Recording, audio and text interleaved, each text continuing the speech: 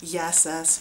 Σήμερα σε αυτό το βίντεο θα δούμε ποια είναι τα συστατικά που πρέπει να αποφεύγουμε μέσα στα καλλιτικά. Θα προσπαθήσω δηλαδή να σας μιλήσω για τα πιο βασικά συστατικά που πρέπει να αποφεύγουμε, γιατί σίγουρα μέσα σε ένα βίντεο δεν μπορώ να σας μιλήσω για όλα τα συστατικά, επειδή είναι πάρα πολλά και θεωρώ ότι είναι καλύτερα αρχικά να ξεκινήσουμε με τα βασικά συστατικά, έτσι ώστε και εσείς να μπορείτε πιο εύκολα να τα θυμάστε και σιγά σιγά θα σας κάνω κάποια άλλα βίντεο που θα προχωρήσουμε και θα δούμε συγκεκριμένα κάποια συστατικά ή κάποιες κατηγορίες συστατικών. Πριν ξεκινήσω όμως να μιλάω για τα συστατικά, θα ήθελα να σας πω ότι πρέπει να ξέρουμε ότι δεν υπάρχουν φυσικά καλλιτικά.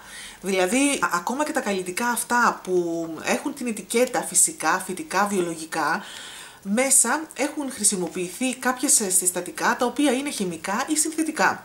Και αυτό γιατί η ισχύουσα νομοθεσία επιτρέπει στους παραγωγούς να χρησιμοποιούν ένα ποσοστό από αυτά τα συνθετικά και χημικά υλικά και παρόλα αυτά να βάζουν την ετικέτα φυσικό φυτικό προϊόν. Τώρα η προσωπική μου θέση ε, πάνω σε αυτό το θέμα ε, δηλαδή στη χρήση των συνθετικών και χημικών υλικών μέσα στα καλλιτικά, θα έλεγα ότι εγώ συμφωνώ ως ένα μέρος σε αυτό, δηλαδή ε, ναι μεν στη χρήση αυτή των συστατικών, αλλά κάτω από ορισμένες προϋποθέσεις, δηλαδή να χρησιμοποιούνται σε πολύ μικρό ποσοστό, ίσως και πιο μικρό από αυτό που σήμερα η νομοθεσία επιτρέπει, να πρόκειται για συστατικά που δεν προκαλούν καμία βλάβη. Και επίσης να πρόκειται για συστατικά τα οποία χωρίς αυτά δεν μπορούμε να πετύχουμε ένα συγκεκριμένο αποτέλεσμα.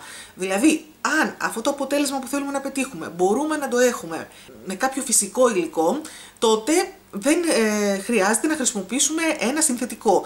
Αν όμως δεν μπορούμε και είναι υποχρεωτικό για να μας δώσει αυτό το αποτέλεσμα ένα υλικό συνθετικό και όπως είπα δεν προκαλεί βλάβη, μπορούμε να το δεχτούμε στα καλλιτικά. Η γνώμη μου είναι ότι δεν πρέπει να είμαστε δογματικοί και να ε, αμέσως να θεωρούμε κακό ένα υλικό που είναι συνθετικό, που έχει φτιαχτεί δηλαδή μέσα σε ένα εργαστήριο και ε, να θεωρούμε αμέσως ε, ένα υλικό το οποίο είναι φυσικό, να το θεωρούμε καλό. Γιατί πρέπει να ξέρετε ότι υπάρχουν και υλικά που είναι φυσικά και, και είναι πολύ επικίνδυνα και βλαβερά.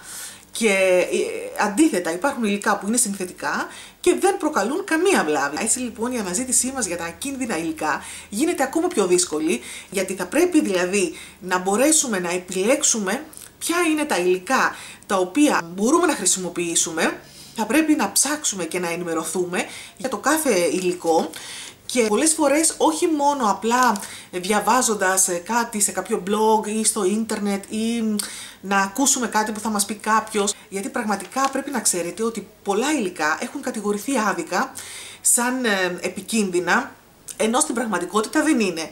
Και αντίθετα, πολλά υλικά τα οποία είναι, όπως είπα και πριν, είναι φυσικά και θεωρούνται ακίνδυνα, μπορεί να μας προκαλέσουν αλλεργίες, είναι υλικά τα οποία δεν έχουν χρησιμοποιηθεί ευρέως, δεν ξέρουμε τι αποτελέσματα έχουν και ε, μπορεί να είναι και ακόμα πιο επικίνδυνα. Οπότε δεν πρέπει να σταματάμε σε μία απλή ε, είδηση που διαβάσαμε, αλλά πρέπει να εμβαθύνουμε την έρευνα και να ψάχνουμε να δούμε πραγματικά τι είναι αυτό το υλικό και τι, τι έρευνες έχουν γίνει πάνω σε αυτό το υλικό, τι πειράματα έχουν γίνει πάνω σε αυτό το υλικό, πού έχει χρησιμοποιηθεί αυτό το υλικό Ακόμη πρέπει να γνωρίζετε ότι μπορεί και να υπάρχουν κάποιες σελίδες οι οποίες είναι ε, στημένες για να κατηγορήσουν κάποιο υλικό ή για να επενήσουν και να προωθήσουν κάποιο άλλο υλικό. Και όπως καταλαβαίνετε, πίσω από όλο αυτό το θέμα των ε, επικίνδυνων και ακίνδυνων υλικών υπάρχουν πολύ μεγάλα συμφέροντα και της ε, φαρμακοβιομηχανίας και των εταιριών που φτιάχνουν τα καλλιτικά. Οπότε για μας δυσκολεύει ακόμα περισσότερο η αναζήτηση της αλήθειας. Καταλαβαίνω βέβαια ότι αυτό που σας λέω είναι έτσι πιο προχωρημένο και πολύ δύσκολο, αλλά σιγά σιγά θα δείτε ότι και εσείς αν θα αρχίσετε να ψάχνετε τα υλικά και να ψάχνετε λίγο παραπάνω, κάθε μέρα και κάτι καινούριο θα μαθαίνετε. Φαίνεται δύσκολο, όπως έχω πει και άλλες φορές, αλλά σιγά σιγά με την εμπειρία και με την έρευνα αρχίζουμε να εξοικειωνόμαστε έτσι και με τα υλικά. Ήθελα να κάνω έτσι μια απλή αναφορά σε όλα αυτά που είπα μέχρι τώρα, απλά να σας δώσω έτσι μία όθηση να σκεφτείτε από μόνοι σας κάποια πράγματα και ίσως ε, να ψάξετε και να ερευνήσετε και να μην μείνετε ούτε καν σε αυτό που λέω εγώ, αλλά να προχωρήσετε και να κάνετε τη δική σας έρευνα. Ας δούμε λοιπόν τώρα βασικά υλικά που πρέπει να αποφεύγουμε. θα έλεγα ότι στην πρώτη θέση θα βάλουμε δύο κατηγορίες υλικών. Η μία είναι όλες οι σιλικόνες, τις οποίες βλέπετε εδώ πέρα. Κυρίως είναι τα υλικά που τελειώνουν σε on ή an, η άλλη κατηγορία υλικών που βλέπουμε από εδώ, είναι όλα τα πετρολάτουμ, δηλαδή τα παράγωγα του πετρελαίου. Και εκεί βρίσκουμε τη βαζελίνη, την παραφίνη, όλα τα mineral oils. Αυτά λοιπόν είναι υλικά που δεν είναι πολύ επικίνδυνα. Δηλαδή υπάρχουν υλικά περισσότερο επικίνδυνα από αυτά. Αλλά εγώ αυτές τις δύο κατηγορίες υλικών τις βάζω στην πρώτη θέση επικινδυνότητας, γιατί αν θα κοιτάξετε υπάρχουν μέσα στα προϊόντα σε πάρα πολύ μεγάλο ποσοστό. Αυτό σημαίνει ότι τελικά είναι πολύ πιο επικίνδυνα από το ότι να χρησιμοποιήσουμε ένα υλικό που είναι όντως πιο επικίνδυνο, αλλά είναι σε πάρα πολύ μικρή ποσότητα. Βρίσκεται δηλαδή προς το τέλος της σύνθεσης του προϊόντο μας. Οι σιλικόνες λοιπόν είναι υλικά, ακριβώς αυτό που λέει και η λέξη, είναι σιλικόνη, είναι δηλαδή αυτό το άσπρο, το πλαστικό που βάζουμε για να μονώσουμε. Και όπως καταλαβαίνετε είναι ένα πλαστικό. Δηλαδή ουσιαστικά αν βάζουμε πάνω μας τη σιλικόνη είναι σαν να φοράμε μια πλαστική σακούλα που σημαίνει ότι μας δημιουργεί μία στρώση επάνω στο δέρμα, φράζει τους σπόρους, οπότε μας δημιουργεί μαύρα στίγματα, μπορεί να δημιουργήσει ακμή, μπορεί να δημιουργήσει σμίγμα, γιατί το δέρμα μας δεν αναπνέει. Φυσικά χρησιμοποιείται από τους παραγωγούς γιατί είναι πολύ χαμηλό το κόστος του και επίσης γιατί έχει το θετικό ότι επειδή ακριβώς δημιουργεί τη στρώση επάνω στο δέρμα, κάνει το δέρμα μας να φαίνεται λίγο και απαλό. Δίνει δηλαδή αυτή την προσωρινή αίσθηση ότι το δέρμα είναι λίγο και απαλό. Το ίδιο περίπου κάνουν και τα mineral oils και όλα τα πετρολάτου, τα οποία είναι λάδια παράγωγα του πετρελαίου και αυτά πάλι δημιουργούν μια στρώση επάνω στο δέρμα και δεν αφήνουν το δέρμα να αναπνέει.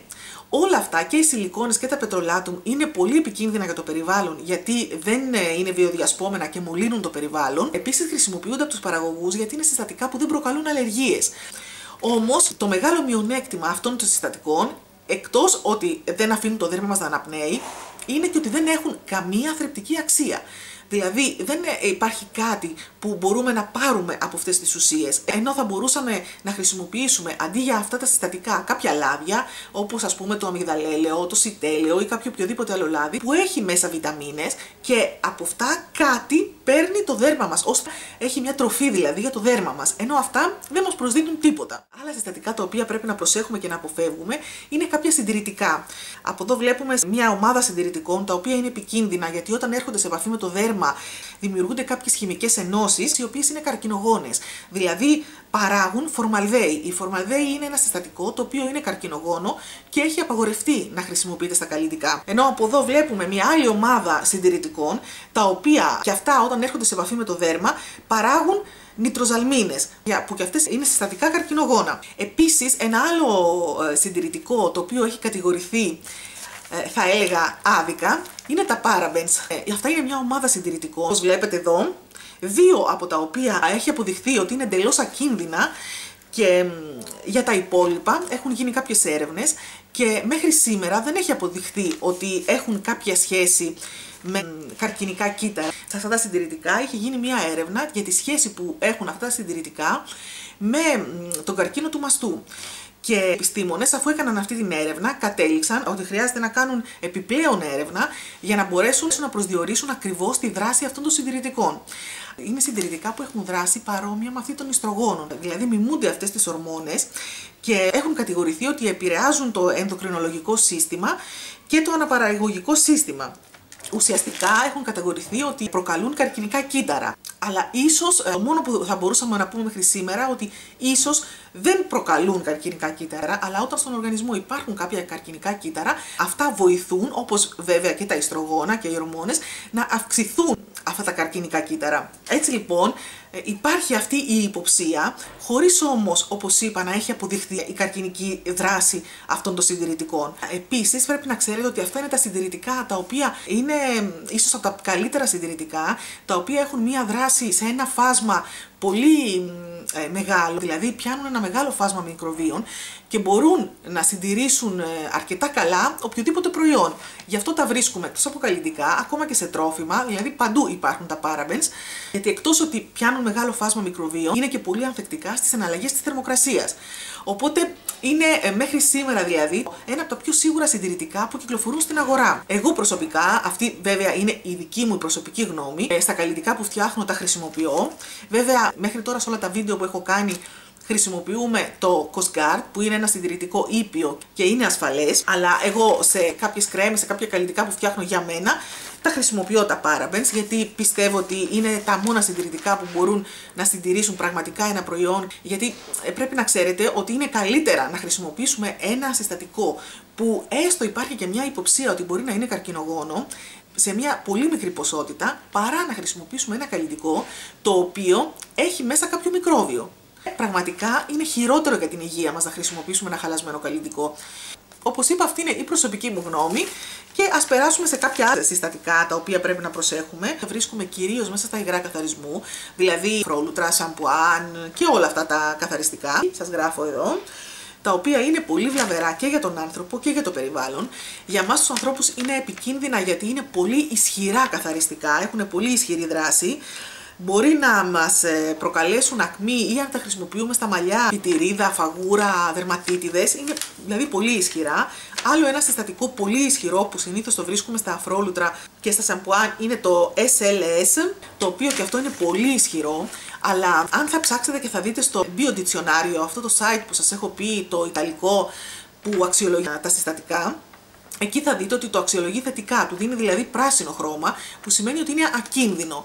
Γιατί όντως αυτό το συστατικό είναι ακίνδυνο, είναι βιοδιασπόμενο, δεν μολύνει δηλαδή το περιβάλλον, αλλά ε, είναι για τον άνθρωπο πολύ ισχυρό. Δηλαδή, αν αυτό το συστατικό το βρούμε μέσα σε ένα απορριπαντικό για τα πατώματα, είναι πολύ καλό γιατί κάνει τη δουλειά του, είναι ισχυρό και δεν μολύνει το περιβάλλον σε σχέση με κάποια άλλα που είναι επικίνδυνα για το περιβάλλον.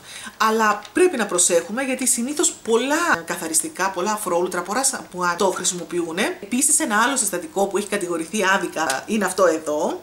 Το οποίο ε, και αυτό είναι ένα συστατικό πολύ ισχυρό, αλλά όταν βρίσκεται σε, σε, μέσα σε μια σύνθεση στην οποία υπάρχουν κάποια άλλα συστατικά που μαλακώνουν αυτή την ισχυρή δράση του, είναι ένα συστατικό το οποίο μπορούμε σίγουρα να το χρησιμοποιήσουμε χωρίς κανένα κίνδυνο.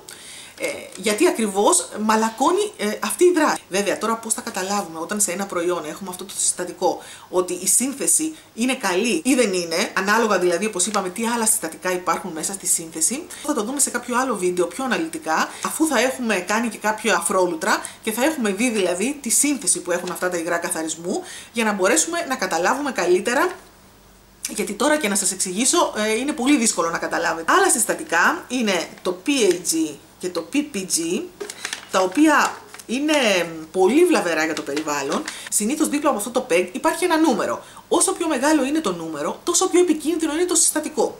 Δηλαδή είναι ε, καλύτερο ένα PEG 10 παρά ένα PEG 100. Αυτά συνήθως συστατικά τα οποία βρίσκονται προς το τέλος στη σύνθεση των προϊόντων μας. Οπότε, αν όντως βρίσκεται προς το τέλος στη σύνθεση του προϊόντος μας και είναι μικρό το νούμερο, 7, 10, μπορούμε και να το δεχτούμε. Γιατί, ε, όπως είπα, αυτό είναι ένα συστατικό που μολύνει το περιβάλλον, αλλά σε εμάς τους ανθρώπους, στο δέρμα μας δηλαδή, δεν κάνει κακό. Οπότε, αν θα είναι σε μικρή ποσότητα μέσα στο προϊόν μας και μικρό νούμερο, δηλαδή δεν είναι τόσο βλαβερό, μπορούμε να το δεχτούμε. Άλλα συστατικά που πάλι βρίσκονται στο τέλος ε, της σύνθεσης, δηλαδή βρίσκονται σε μικρή ποσότητα μέσα προϊόντα, αλλά που μολύνουν πολύ το περιβάλλον, είναι το BHA και το BHT, τα οποία είναι, ε, είναι κάποια αντιοξυδοτικά και τα βρίσκουμε κυρίως σε προϊόντα που έχουν μέσα λάδια και βούτυρα. Γιατί ακριβώς τα χρησιμοποιούν για να μην οξυδωθούν τα λάδια και τα βούτυρα. Γιατί αυτά τα συστατικά έχουν πολύ μικρό κόστος σε σχέση με ένα φυσικό αντιοξυδοτικό όπως είναι η βιταμίνη Ε. Άλλο ένα συστατικό που είναι και αυτό πολύ επικίνδυνο, το τρίκλωσαν, το οποίο είναι ένα συντηρητικό αντισηπτικό. Το βρίσκουμε συνήθως σε οδοντόκρεμες και σε αποσμητικά. Αυτό πρέπει να το προσέχετε πολύ γιατί είναι ένα συστατικό το οποίο μπαίνει μέσα στο σώμα μας, κυκλοφορεί δηλαδή μέσα στο, στο σώμα, το ανθρώπινο σώμα και ιδιαίτερα για τις ε, γυναίκες οι οποίες θυλάζουν είναι πολύ επικίνδυνο γιατί αυτό βγαίνει στο γάλα. Άλλο συστατικό που πρέπει να προσέχουμε είναι το Tetrasodium έττα. Θα στα γράφω επάνω γιατί και η προφορά μου δεν είναι τέλεια.